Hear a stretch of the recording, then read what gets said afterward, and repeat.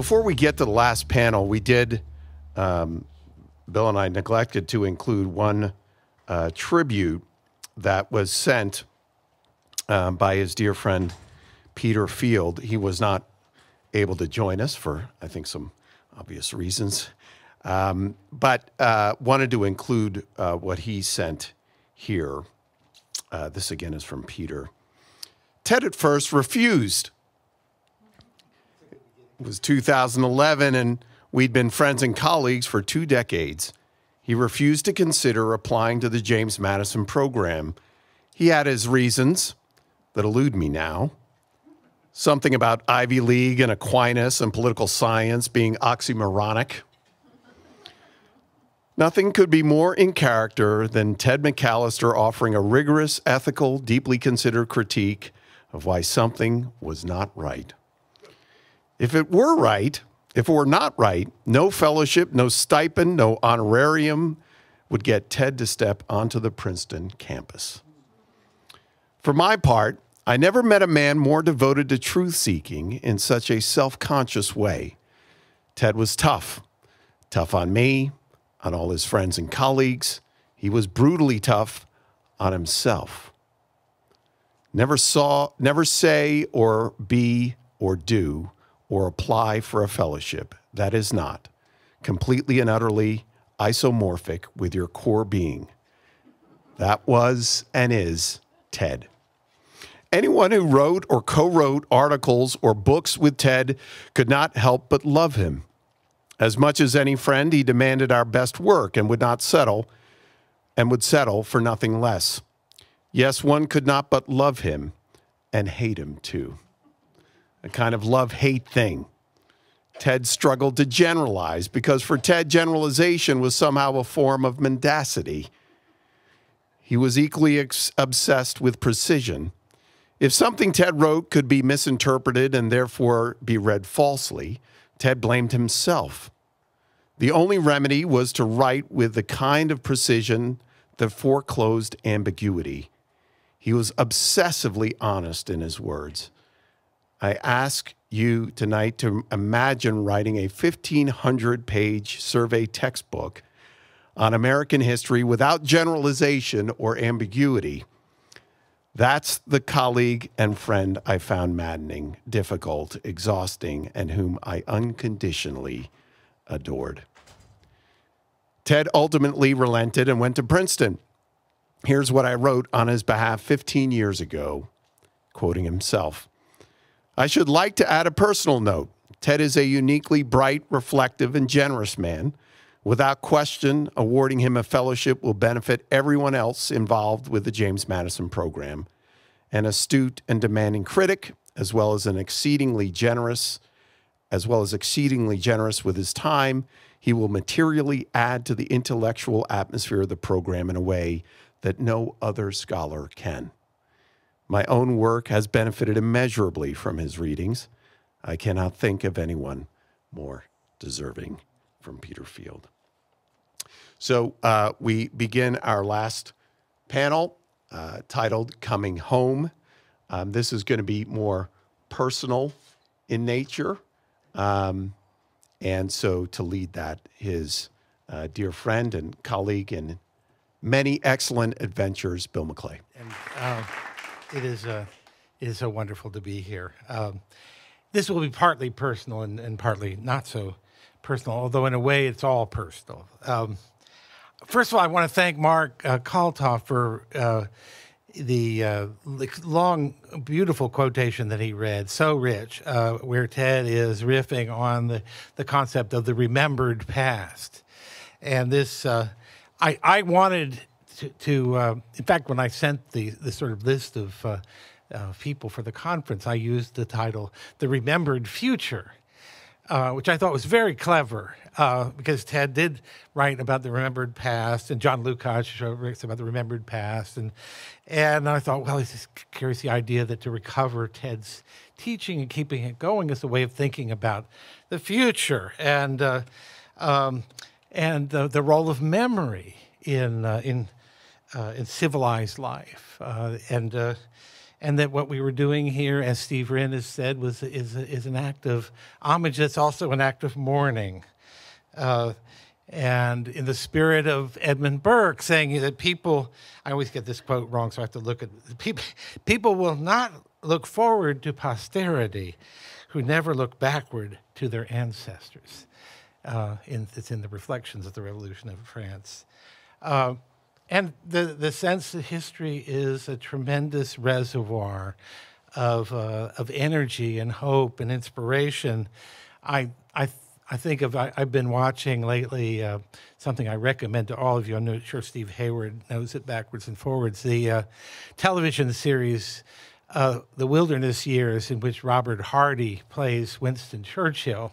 And it deals with that period when, in which Churchill is forced out of power, and there, there was this uh, uh, just invincible blindness to the rising Nazi threat from his own party, Stanley Baldwin et al. And uh, and there's a moment in in that drama when Churchill goes out to Blenheim Palace, you know the the um, place of his ancestors, and he stands before the the, the column of it's it's a column of victory I think it's called. Uh, they they never did build the obelisk there, but there's a column of victory, and that memorializes the Duke of Marlborough, his his ancestor, about whom he was also writing. Uh, and there's this sense that Churchill's really down on his fortunes. I don't remember the exact. Uh, um, uh, cause whether it was a political it was some political defeat and uh, humiliation by Stanley Baldwin or someone else. And uh, um, the whole series I think echoes profoundly the time of foreboding then the time of foreboding now.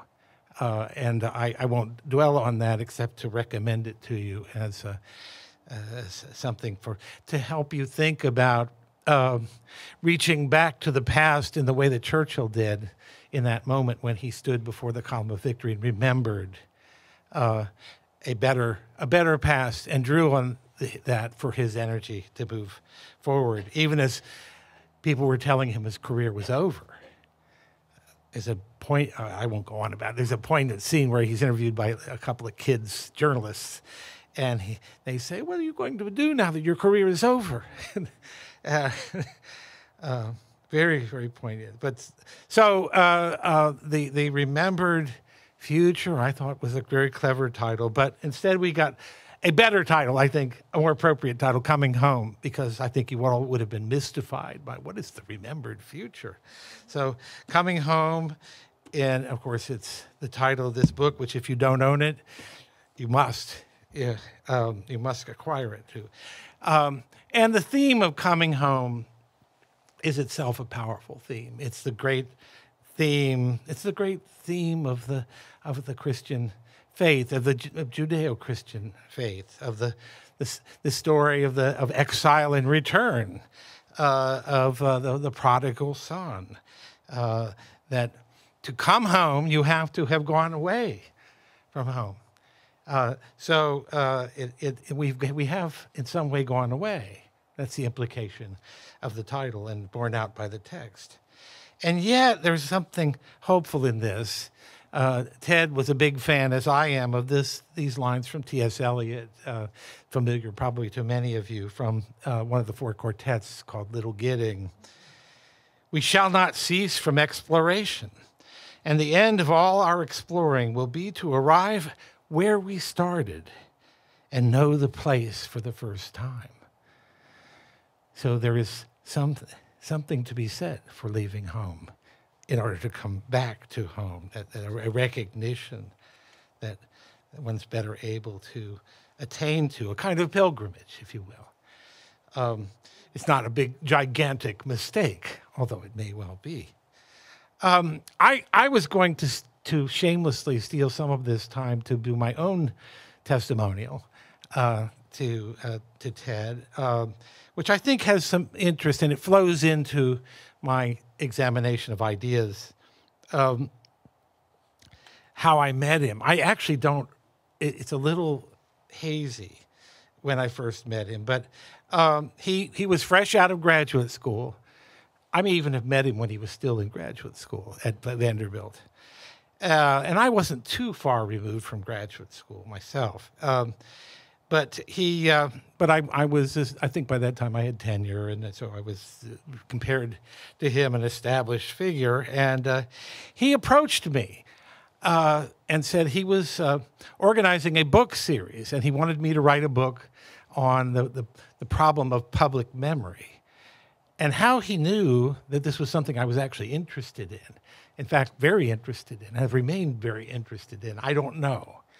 Uh, he'd read some of my things, I, you know, but I didn't know there was anything that gave any indication of that. But he, he knew how to read between the lines, and uh, and he was so brimming with self confidence. This just out of graduate school guy who was teaching at Tennessee Tech uh, University. There is such a place. Yeah, I, I want you to know, in uh, Cookeville, Tennessee, um, and uh, uh he uh, but he acting as if he was already a sort of mover and shaker. And he was so persuasive, and I loved the idea so much, he talked me into it. Then I found out, well, the series was really just a uh, uh, an idea. Uh, he didn't actually have a publisher. Uh, and uh, and things dragged on for a while, and and I kept asking, well, how's things come on that publisher from? Well, yeah, yeah, we're working on it, working on. And, um, and he had actually contacted a couple of different publishers, one of which was Rowman and Littlefield. Uh, I think the other major contender was the University Press of Kansas, which had published uh, the Revolt Against Modernity book, and uh, and at that time had a really wonderful editorial director that we all loved. Um, it anyway. Uh, so I, after a while, I kind of, I don't know what made me do this, but I said to him, "Well, you know, if you want me to come aboard." As your co-editor, and you think that would help get get this proposal taken seriously, I'll do that. Uh, and then we got Jean Bethke Elshtain, which was uh, she never did anything with the series, frankly speaking, but but lending her name to so to so to speak the masthead was was invaluable. So we we we got uh, and we actually ended up in a competitive situation and uh, chose Rowman and Littlefield because they had uh, they had made a better offer. They were just starting to publish history books, and little did we know that we had we had the most amazing and wonderful editor to work with, the young uh, Steve Wrinn. Uh, he's still youthful. Uh, and uh, so I said yes to all of this, and and the end result was this series, American Intellectual Culture, which you've already heard a little bit about from uh, Steve, um, it was absolutely the joy of my life for the, the year. Was it only six years? It seems longer than that. And we would have kept going. It was Rowman Littlefield. They decided that wasn't making enough money, It probably wasn't. But uh, and they are a commercial publisher, so they have to make money. So so they closed it down. All the books are still in print. I think all of them. Uh, and there were some some uh, uh important books in that series. Uh, but uh, I do remember very well those Friday afternoon talks with Steve, sometimes with Ted, sometimes with Ted and Steve. And sometimes I would call Steve after talking to Ted and, and say, I can't stand this guy. I can't work with him anymore. I, that happened at least oh, seven or eight times. And Steve would always say, Oh, Bill, calm down. And so, uh, so it never never erupted. I don't think Ted actually was ever aware of how angry at him I got sometimes. So, uh, but it it's partly because the qualities that everyone is just and Peter Field just described in the passage it was just read. Ted was very direct, very blunt, and in email, sometimes this came across as brutal. You know, in conversation, it never did. You know, uh, but but emails and uh, I, I did at one point say, you know, you need to control your language a little bit better uh, because you said this and it sort of sounds like go crawl in a hole. Are you, are you stupid or just lazy? uh, uh, so he, but his, bluntness and directness, it's something you come to appreciate after a while. That, that he is not holding back. There's no hidden agenda. He, he is incapable of dissembling or lying to you and people like that uh, are rare, rare, rare things, rare gems. And so I came to cherish that honesty, even if I still have a few bruises here and there or bruises in my ego from that.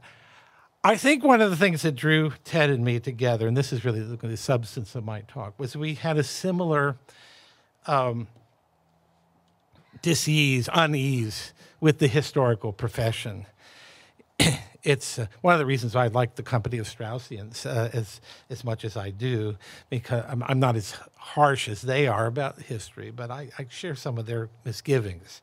Um, but here's a more precise way of putting it. I, I when I went to Johns Hopkins in graduate school, and Johns Hopkins, as already uh, Lee has already described, first self-consciously German-style research university not at all interested in the task of cultural conservation. No, it was the breaking through to the new frontiers of knowledge, upsetting all the old paradigms, you know, through science, Wissenschaft, uh, uh, crawling out of every nook and cranny. Um, and there's still a little bit of that spirit at Hopkins when I was a student. Um, and then I come across in my uh, first year seminar uh, for reasons uh, not worth going into, we were reading a lot of George Santayana, who I've never read. And Santayana is an absolutely charming writer. I, I, don't know how well he works as a philosopher, but, I, but he's a great phrase maker. And here's a quotation that I noted at the time in my first semester, and, and it's something that absolutely shocked me. He said, It is one of the foibles of Romanticism to insist on rewriting history and perpetually publishing new views without new matter. Can we really know more about the past than its memorials transmit to us?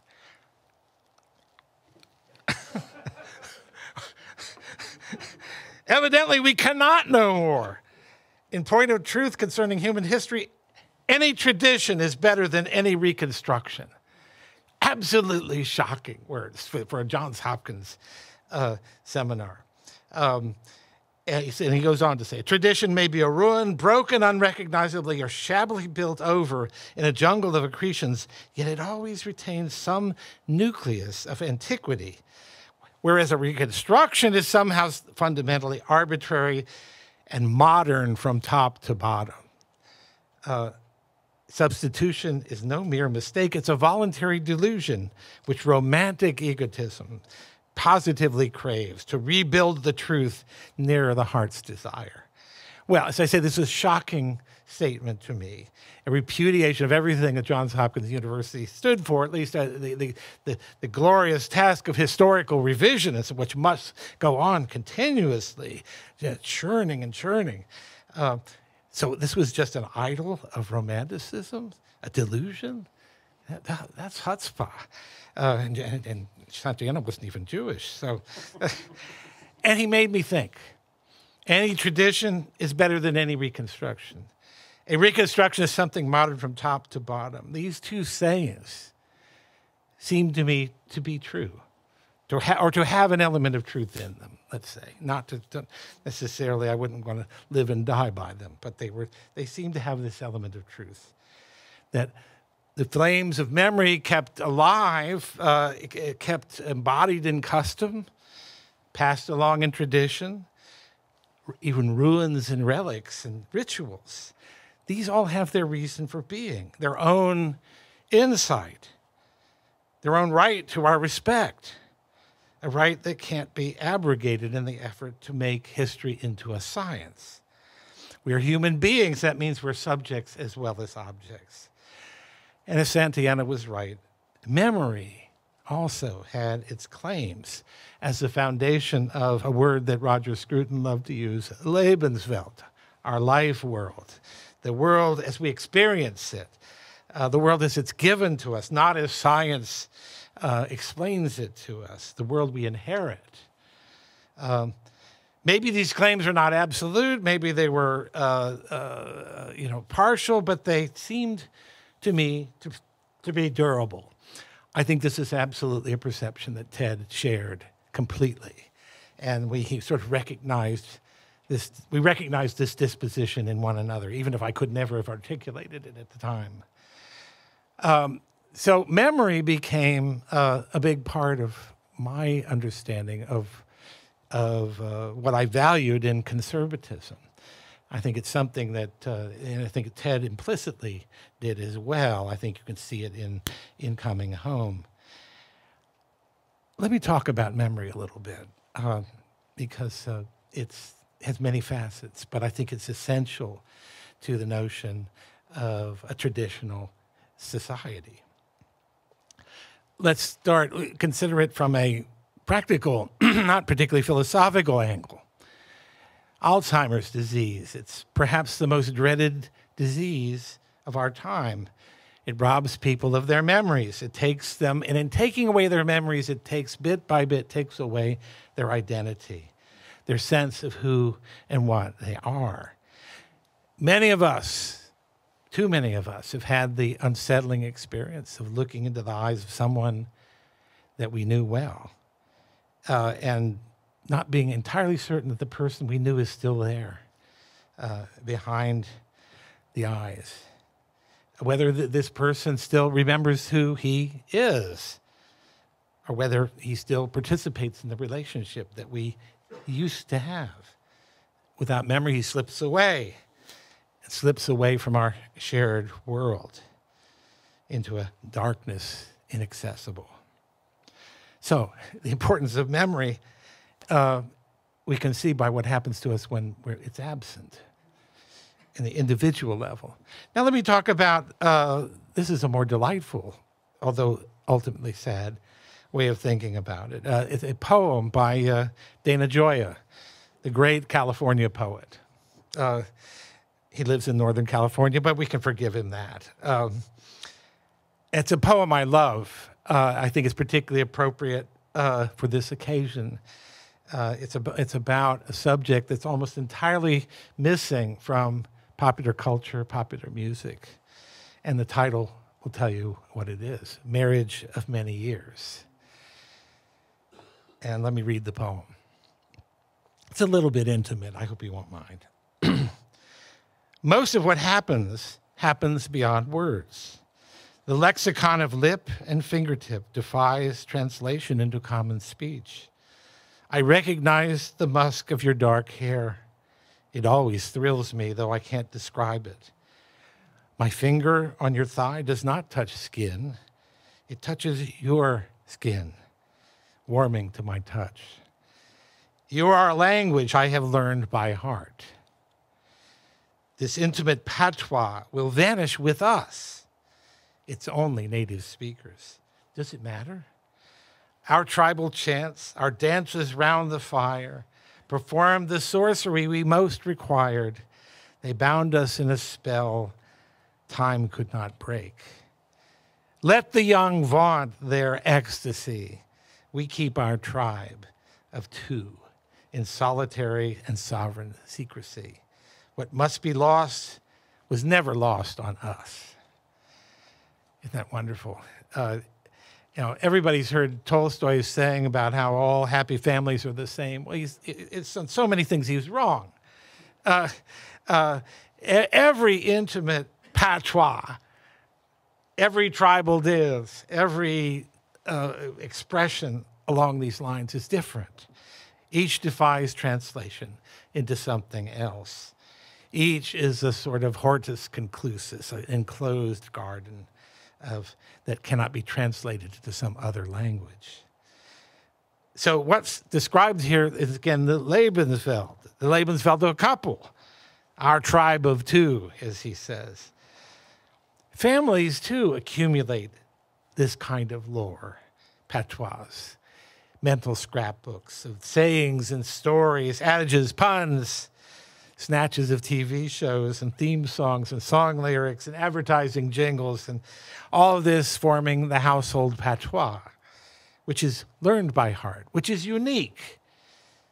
You run into this when you marry somebody and you come into their household. We have a saying in our family and so on and so forth. Um, and the intimate patois vanishes with the native speakers.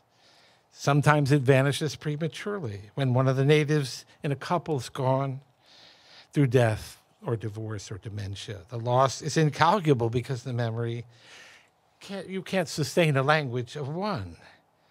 Once the possibility of conversation goes, the color and suppleness go with it, and soon it becomes no language at all. All right, can we discuss larger collectivities, larger uh, groups of people in similar terms? Yes, I think we can. What's true for individuals or couples or families is true in different ways for nations and peoples.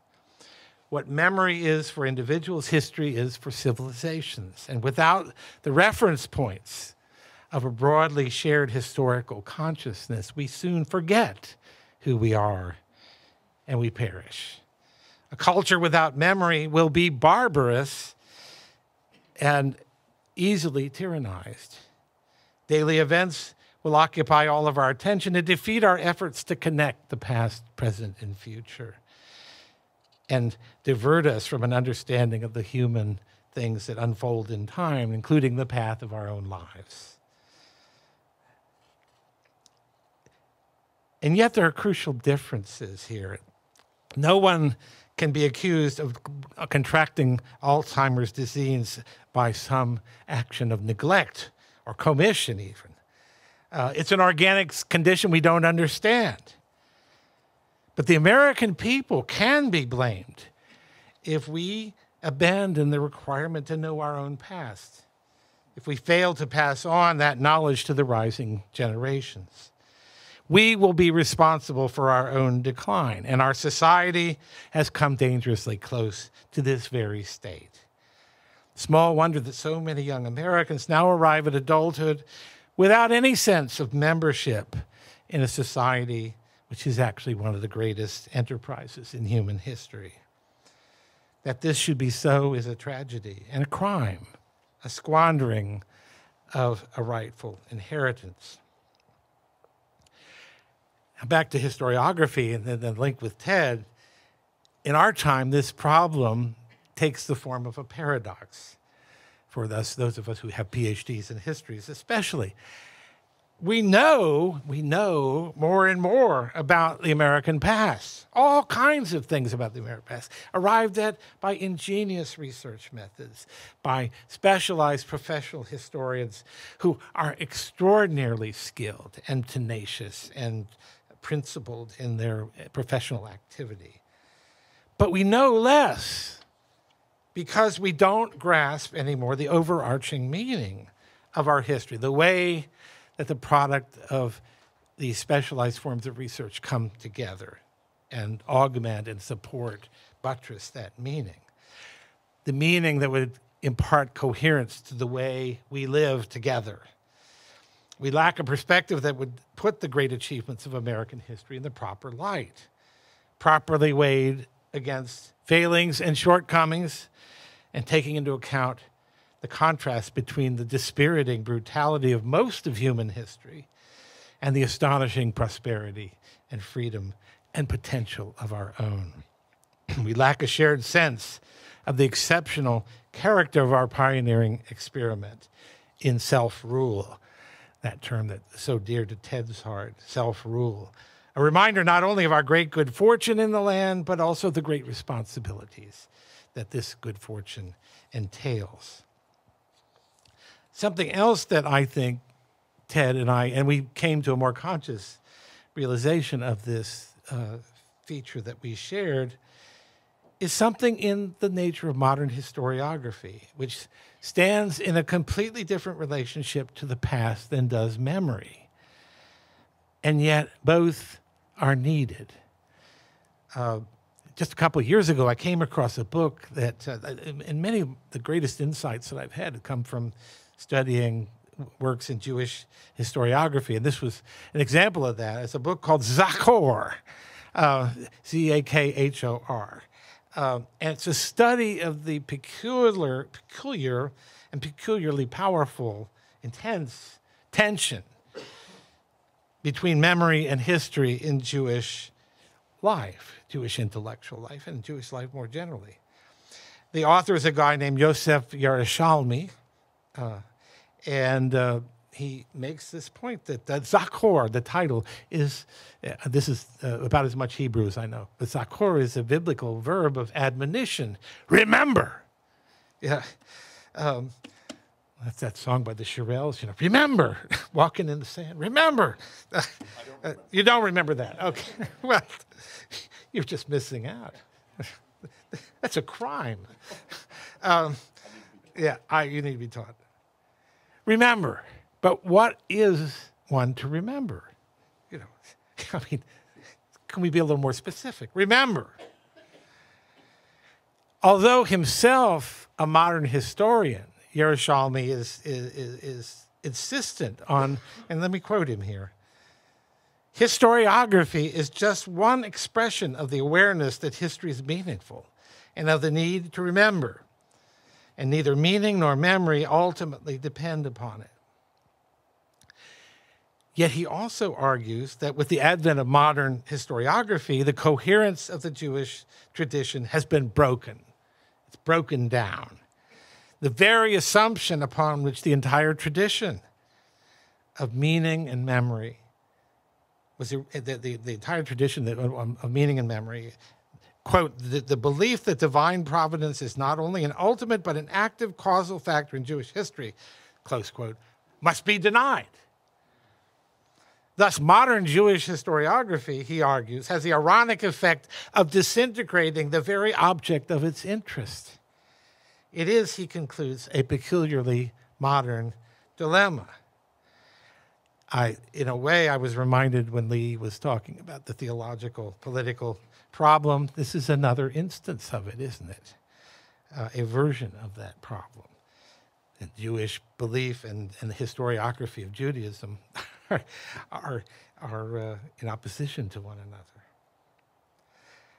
Again, uh, Santayana's statement is useful here. A reconstruction is something fundamentally arbitrary, created by personal fancy and modern from top to bottom. I wouldn't agree with all of that.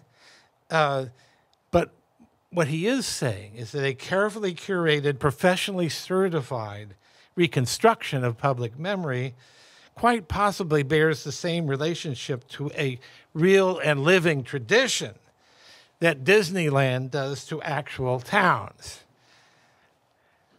There is no past and nothing worth remembering about it when reality is reconstructed in the image of the present. That was Santayana's insight, I think. Far better is the older view that the past is another country, that the only way the past can be allowed to broaden us and teach us things we don't already know. When the past is a prisoner of the present, the present because a prison becomes a prison for us all.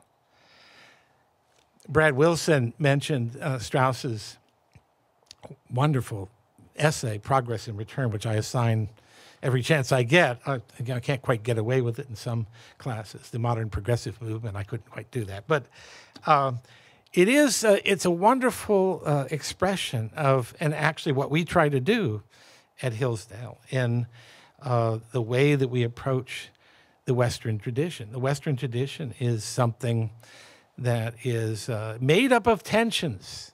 This is Strauss's argument that the tension between biblical religion and, and the Jerusalem and Athens, you know, that, he uh, uses that, that very handy uh, opposition, Jerusalem and Athens.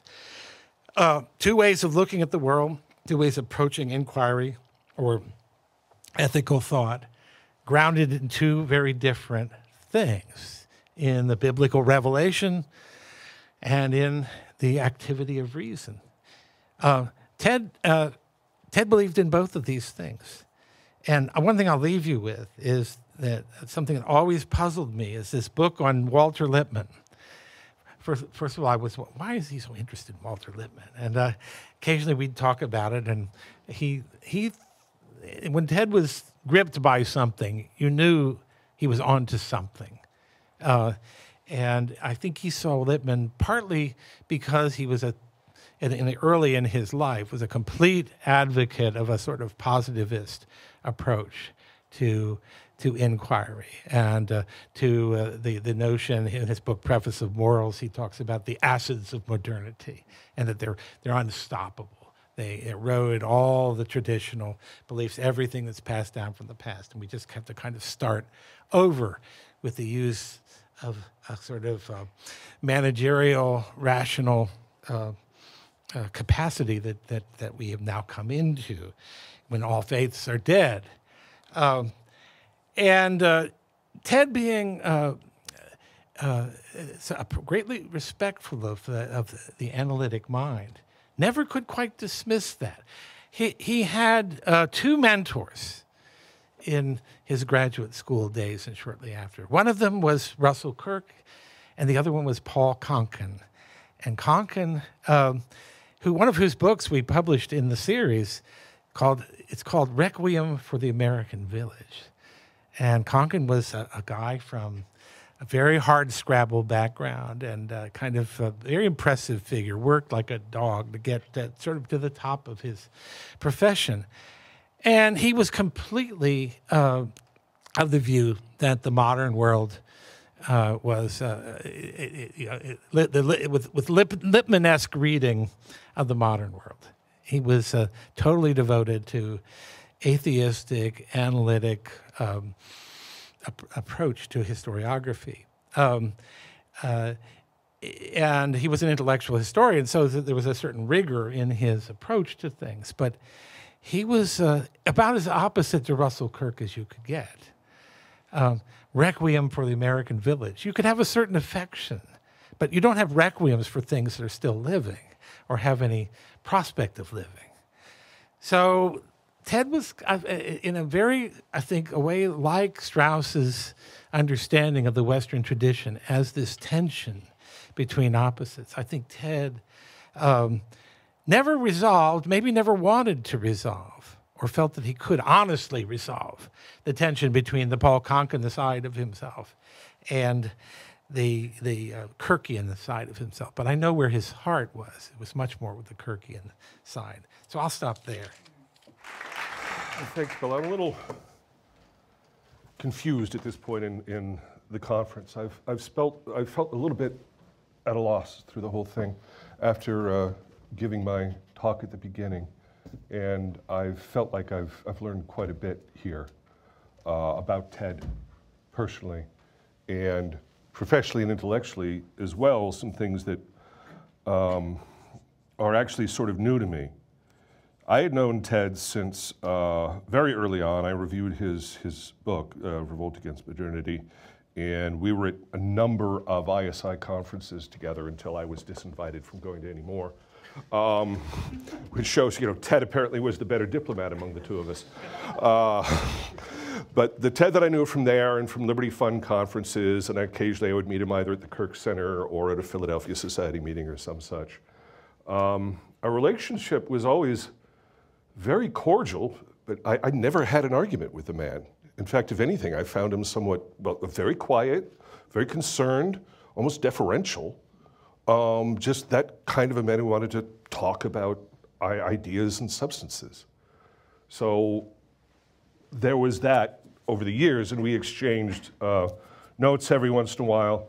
Um, but it wasn't a really uh, close relationship until he, I guess we should talk about at least a little bit the, book itself, until he contacted me about the project that he'd been working on, which became Coming Home, uh, which, by the way, it, it, might be helpful to know that the uh, title was almost rejected. Uh, Ted was told, I, I'm not sure by whom, that it had racist overtones and that it would be better not to use it. And he took that criticism seriously. He was concerned because the idea was, you know, this is a mass market publisher. This was to be a public statement that mattered, and he didn't want to queer the deal, as it were, uh, right off the bat. But we stuck with it, and I think it um, brings together a lot of things. If you look at his writings, and you know, I, I, went over many of his essays to, to get ready for you know writing my talk and so on, and it's a theme that's throughout all of his writings. Um, the, the, need for this, and the chapter that he did on, on place, it's, it's, it's about home. It was very much what was uh, in there. In this book, which, which began as a statement, right, for, for, for Pepperdine, uh, a purpose statement, and he'd written a first draft of sort of the first half, the, the history of conservatism, and setting up the, the big ideas. And um, he asked me for uh, some help editing it at one point, and I usually, when people edit, uh, ask me to edit for them, I ask them how much they're willing to pay, because I loathe editing other people's work, as my children find out, because I make sure it's it's uh, as painful for them as possible. But that wasn't the case here. It was I enjoyed it, and we ended up working together. And then he asked me to uh, help him with the second half, uh, which is policy proposals for the most part, going to going to specifics after talking about the, the downfall of conservatism when it became simply right wing liberalism, uh, how that came about, and how damaging that was for the Republic, and what we might do uh, in looking at it. So perhaps um, one of the things that's going on is that my TED may be only a part of your TED. The TED that came about post Obama. And I'm beginning to really think that that's part of what's going on here because certainly at the ISI conferences, it was, all, it was very Kirkian. At those conferences, it was, it was about memory in such in a way that really fit in with this. And he talked about the Lippmann book now and again, but you know, I wasn't the one to talk about it all that much. I wasn't trained as a historian, and it was a different way. Um, but by the time we got to write uh, the two books that we ended up doing, we enjoyed this one so much that we, we did another one. Uh, but um, by then, if, you may recall, if you look at the book, he says one of our problems is we no longer have a public philosophy.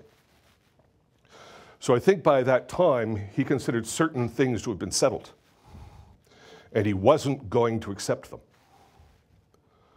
So perhaps part of what happened later in life, when we fell off the cultural cliff, which he and I both agreed was really a product of the Obama administration when the administrative state was unleashed through the achievement of socialized medicine in its half-hearted form. Uh, you had, again, the, the last real checks on administrative power were, for the most part, taken off. Trump attempted, but failed to bring them back on, and, and of course, now they rule the roost. But I think there was perhaps some change in there.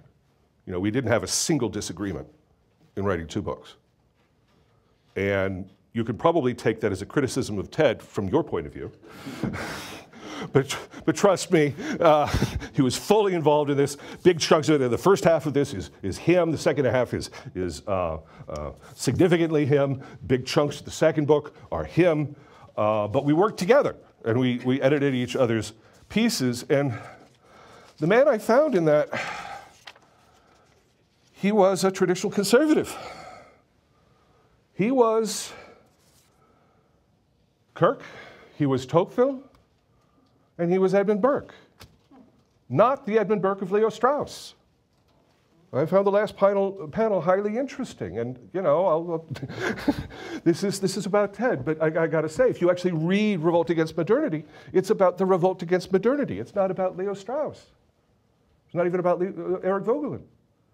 They were two somewhat interesting figures who we respected, who had a critique of modernity and how liberalism had broken down. When I think of revolt against modernity, what I'm reminded of more than anything else, because as a Catholic it hit me like a, a punch in the gut, was his retelling of the story of Job. About how Job was a, uh, a good man who suffered because God made an unjust arrangement with Satan, the deceiver, in which he agreed to go ahead and test Job, took everything away from him. And Job tried his hardest to deal with this, and God just kept hitting him. And in the end, finally, he cried out, knowing that if he'd gone to a, a, a neutral arbiter, the neutral arbiter would have said, God, you're being unjust. And what did he get when he finally said, Please, why are you doing this? What he got was Ted's retelling, was an assertion of power. I am God, you are not. And then he ends it up by saying the proper uh, translation of God's name is I will be who I will be. Not I am who I am, but my will is what shall rule. We could have had an argument about that one. right? We Catholics, you know, God, He's not actually restricted, but by being all loving as well as all knowing, He will follow natural, you know, all the things that a Catholic would say to that. But God love Him, Church of Christ. You take the hit and you know what's going to come. You're not going to know what to do about it. You take the hit and you do your best with it. There's not going to always be a way of understanding it. And I guess we understood each other because he had no interest in engaging in theological debate. He, he said to me nice things and said, You know, I'm practically half a Catholic. I'm sure he was just putting me off. but, but understand the way I grew up, and this just isn't something we're going to have a talk about. That was what he brought to it. Okay? An encapsulation of the tragic sense of life in a way that I'm not at all sure I could live with if I had it to that extent. I've got a tragic sense of life, but nothing compared to that. And it clearly stood him in good stead because he got hit and hit again, and he kept his faith. But in terms of what this meant for Ted as a scholar, which again, I, I think it's important to keep that in mind, it, how important that is, as much as, you know, I love him like a brother. But my Ted, the Ted that I knew, was a traditional conservatism who was PO'd. He would say to people, I see you drank the Kool Aid. Right? I would want to say that. I'm not sure I'd have the courage to say it on a campus. Because I think it did a lot of damage to a lot of people and it killed a fair number of people. But Can, can I just, I mean, I, that's just four years ago, within the last four years, that that would have happened. What, what, what uh, is a longer span involved here? And I mean, is there some point where you see Ted changing, um, becoming more oriented towards uh, public events, towards politics uh, on the national level? when he started writing for Front Porch Republic, you saw this start coming out. What was that, about 10 years ago? At least, maybe more than that. Yeah. But that's, that's Obama. That's Obama. And it was things that he recognized. You know, I, I heard from his students when I was teaching his students, they talked about how he, he wore a hat. We, the people, are pissed off. I think part of that is that he saw that we had reached a point where, in fact, our civilization was crumbling. And, you know, I'd written a book about this, the, the death of constitutional morality. So we had certain things in common. But I think it's important, I, I understand what you're saying, you're, you're, you're probably a little less than happy about the way this is going. But he wasn't, he wasn't always angry. I mean, you knew him as well as I did. It's not like he spent his whole time angry. But he saw that we'd reached a point. So what you saw come out of it were a couple of books that said, look, things have fallen apart. Conservatism as we know it has become utterly corrupt and must, in a sense, be replaced. Just as he said, our elite must be replaced. And what does that take? Not mere political activism, but civic engagement, uh, reordering of our priorities, an understanding that we have to take a role in our communities. And, you know, lest we think that this was, in fact, some sort of populist radicalism, I, I don't think it was at all. Like, again, the, it was Tocqueville, it was Kirk, and most fundamentally, I think it was Burke, who he talked about a lot more than he wrote about.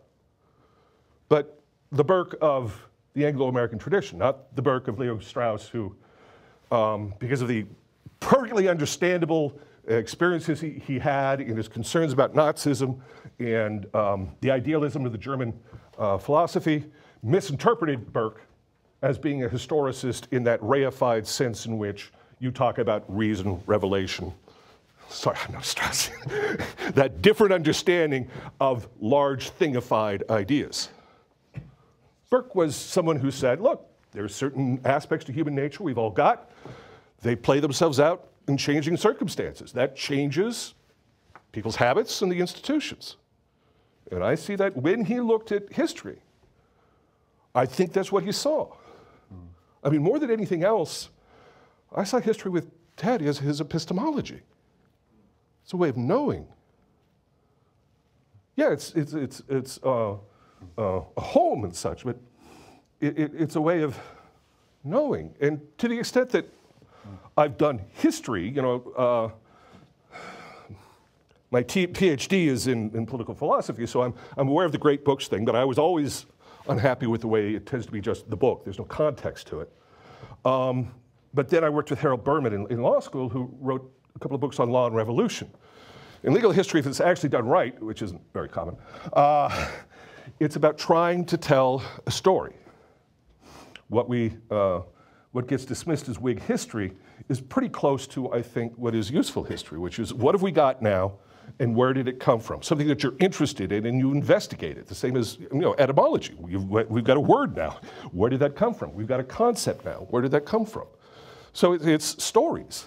And what makes them work and makes us allow in them is it doesn't have a meta narrative that it has to fit in. Mm-hmm. It's just, it's a workman like uh, a job. And that one of the problems we've got now is there's so much meta history that all we deal with is narratives that are useful or not useful for somebody's meta history that we're all supposed to be on the right side of. Right? Don't, don't want to be on the wrong side of history. Pete, you're here. Yes. Yeah, we want to hear from you. um, well, you would ask that I try to wrap this panel with connecting um, both coming home, but also uh, the things that we've discussed uh, both last night and today into this institution. Since Ted has passed, I think it's fair to say that I've developed an entirely new appreciation for the importance of institution building.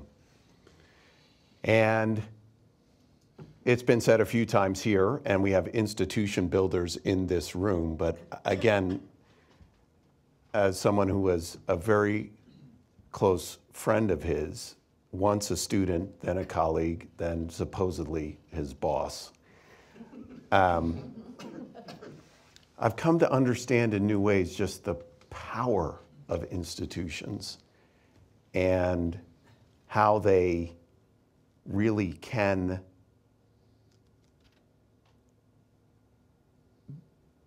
carry on the life of someone. And so it's been said a few times just how Ted's influence on SPP is, um, in one sense, foundational.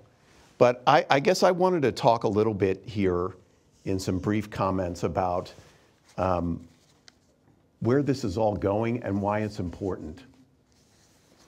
So, one of the um, one of the several things that Ted sent me in his last few years, especially as he had a sense that um, what he was suffering may be terminal, was a four and a half page essay giving the history of uh, roots and great books. And he sensed, or at least wanted to make sure, whatever happened, and he sent me this, I looked, it was in um, 2019. He wanted to make sure that I understood and future deans of this place understood why these important courses were created and what they were created for. And so in this memo, essentially, he goes through where things started, um, the relationship with Gordon, the connection to James Q. Wilson, who some of you know was very much a part of our our founding here at SPP, and then goes first into Roots of American Order and how that course started and how it's changed over the years, uh, but why it's important to be a part of a, uh, a core of a Master in Public Policy uh, program. And then he went into Great Books, which is the, the second course that Ted had so much involvement in, uh, not only teaching, but developing and so I just wanted to read this last paragraph of this uh, essay. And again, he's gone through roots first and then gone into great books. And then he said, um, writes here, finally, this memo and the specific concerns that I've raised about each class are related to what I expect is a shared vision and goal to make our core curriculum as integrated, rigorous, and foundational as possible. I want our graduates to look back at their core courses they look they took and see retrospectively a clear logic to it that is connected to the work they do and the changes they seek to make. To this end, we need to talk about these two classes in ways that expose to ourselves and to our students the answer to this rich question What does it do for me as part of a public policy education?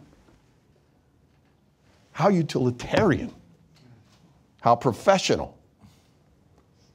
The better we are at asking that of ourselves and of answering it with greater acuity and confidence, the more those who teach these classes will fine tune them toward that end, and the more other faculty will engage these classes in, uh, in their own way. And so I end with my assertion that the four forms of analysis economic, statistical, political, and moral form the core of our education. Now,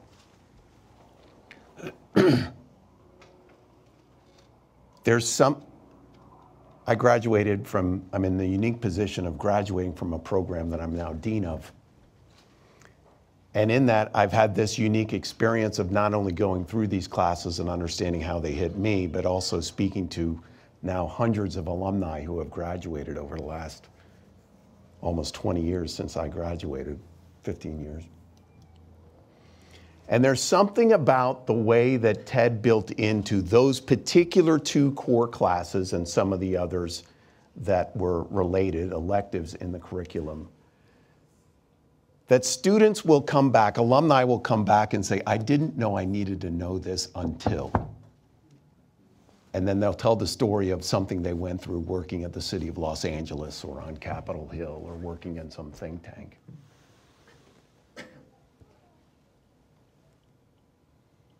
And it usually goes something like this. So Ted had this great phrase that he often used in describing the importance of having roots and great books in the core, and the fact that he is an historian, a cultural historian at that, teaching in a public policy program. And if you're not familiar with this discipline, it's usually pretty boring. It's usually very technocratic. As Bruce said last night, a lot of these programs came into being following the Great Society, and the ones that came into being beforehand followed the New Deal. And so the purpose of many of these graduate policy programs was to prepare the federal bureaucrats to run the administrative states that were created in those two periods. It's why the Kennedy School is called the Kennedy School of Government. It's not the Kennedy School of Public Policy. So Ted had this phrase that he always said that he wanted to make sure that students develop the skill to be able to, quote, think historically. And I heard that phrase a lot when I was a student. I said, Yeah, you know, you're a historian. I'm sure you want people to think historically. And you're taking great books and you're reading the Federalists and you're anti Federalists and you're reading the Federalist Papers and you're doing, you're reading various aspects of history and you know, you're learning these dates and times and things that you would in these kinds of courses. And it wasn't until I got out that I realized that he wasn't teaching me history. He was teaching me how to think historically. Now, what is thinking historically? Thinking historically is an approach to public leadership that is desperately needed today. So after I graduated, I made one of many stupid financial decisions and agreed to take a job in a nonprofit called Common Sense California that was started by one of my other faculty at Pepperdine, the former president of Pepperdine, David Davenport. And the mission of Common Sense California was to support and promote civic engagement at the local level in communities starting in California, but over time, as that nonprofit has morphed into what is now our Davenport Institute for Public Engagement, to train, educate, and consult on public engagement processes around the country, mostly all focused at the local level. So, one of the first projects that I worked on was for the city of Salinas birthplace of John Steinbeck, up the coast here, outside of a much more beautiful town of Carmel. Farming community. And Salinas, this was 2010. Salinas had a very difficult problem coming out of the Great Recession. They had a $20 million deficit on a $100 million general fund. They knew they were going to have to make some very radical, drastic cuts to public services, probably propose some tax and fee increases to somehow get to a balanced budget, which cities and some states have to do.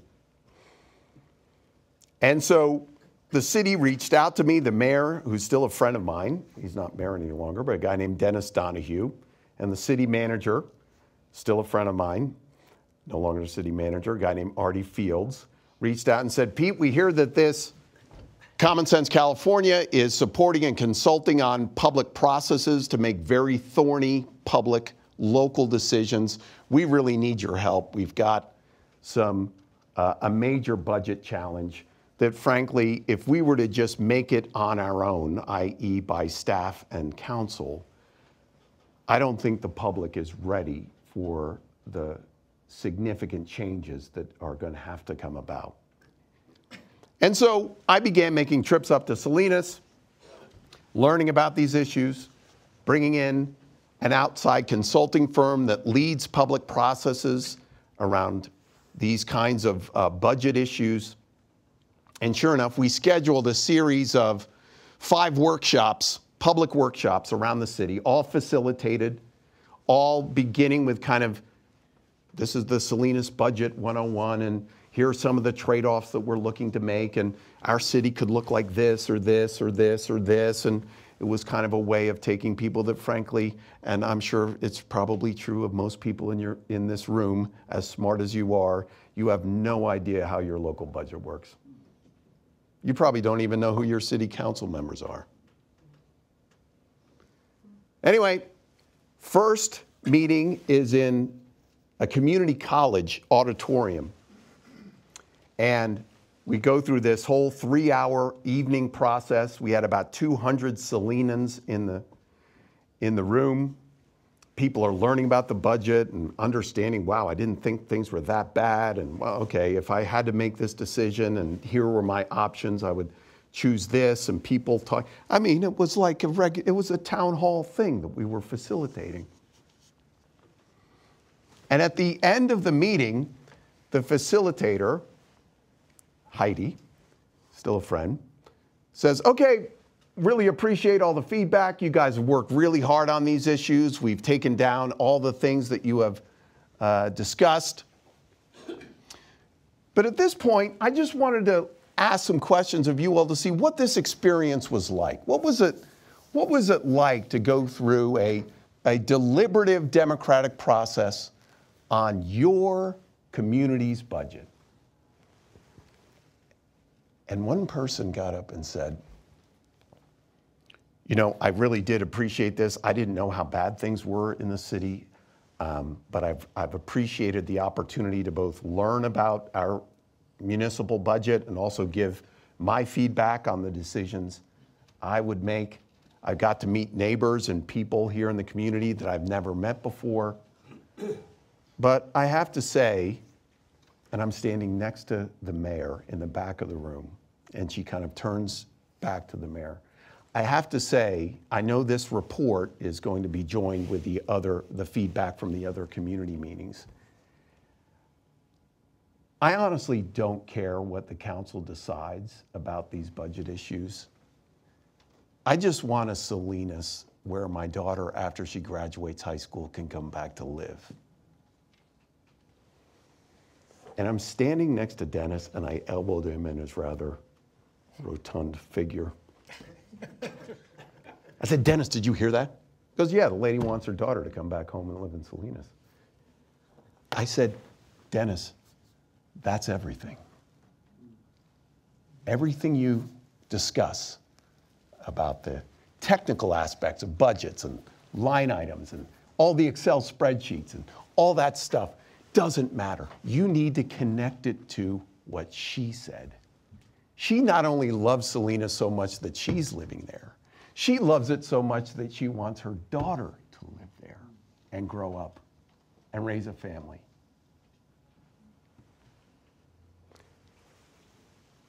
And that experience combined with a number of others that I've had working on these public processes, including ones here in Malibu,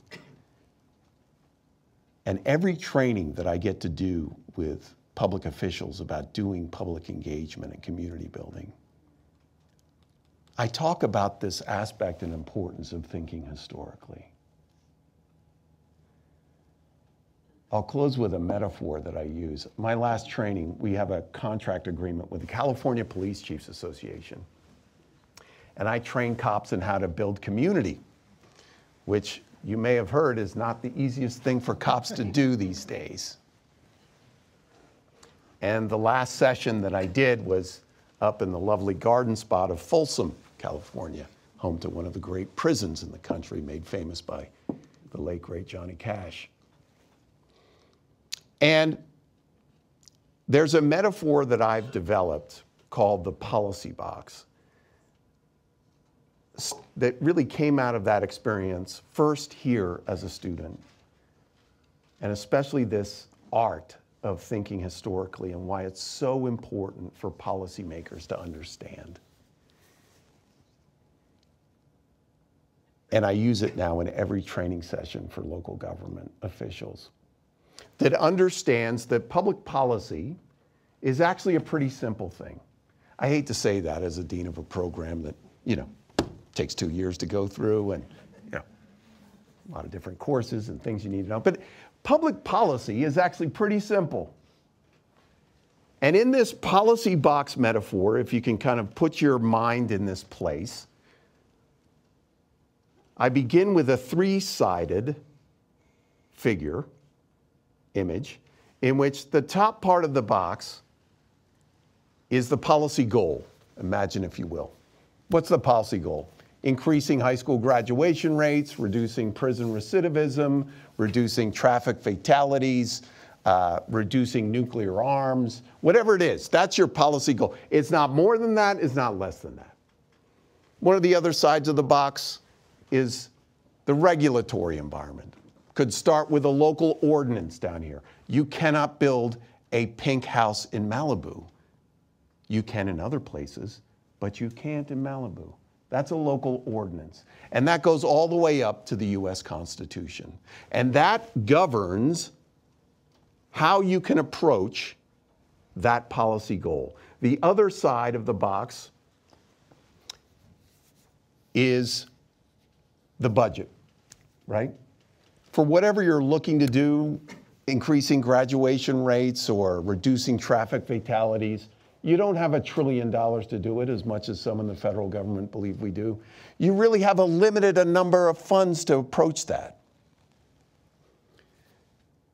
Inside that box is the solution somewhere. And we all know this intuitively, right? We all know that Malibu is different than Hillsdale, Michigan? That the things that concern the people of Malibu, I learned this firsthand. I was asked to moderate the mayoral debate of Malibu. And let me tell you, the things they care about here in Malibu, you would not believe. They have pink houses in Hillsdale? Well, Yeah, let's hope so. a few. But I mean, at one point we were debating the pesticides that were being used on the medians, that somehow these were not ecologically friendly pesticides? I mean, I'm guessing that Hillsdale is not debating these issues. But somewhere in the middle of that figure is that solution. But the bottom part of the box is the entire game. The bottom part of the box really does determine, if you can imagine it, and this is the metaphor, if you can imagine it kind of as a slider can slide up or down, can either give you a lot of different options within that box or just a very thin layer of possible options. And that bottom part of the box is history and culture. It's what? History and culture. And I've seen it so many times. And I see it now, unfortunately, in our country and it's been remarked several times here over these panels. It's one thing not to know our history, that's bad. It's an entirely other thing not to be able to think historically. To tell the city manager who just started in Santa Monica, the first thing you really should do is read the history of how Santa Monica came to be first. Because the people you're going to be engaging with in your council meetings, in public comment, in the rumors that are around, could go back decades.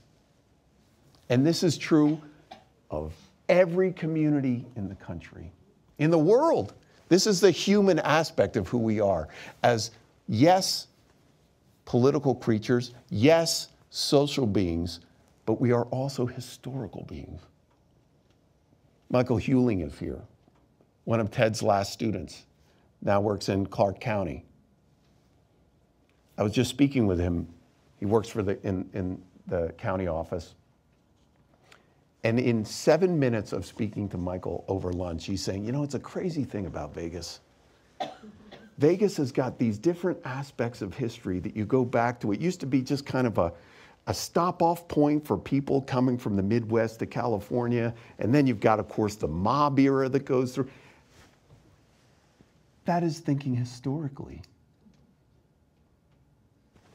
And unless we're able to connect, this is how we connect the techne of public policy. And it's there. It really is there. And you really need to know how to do multiple regressions. I'm sorry. We're not a, we're not a program in political theory. You really need to be able to do the statistical analysis of policy. You have to.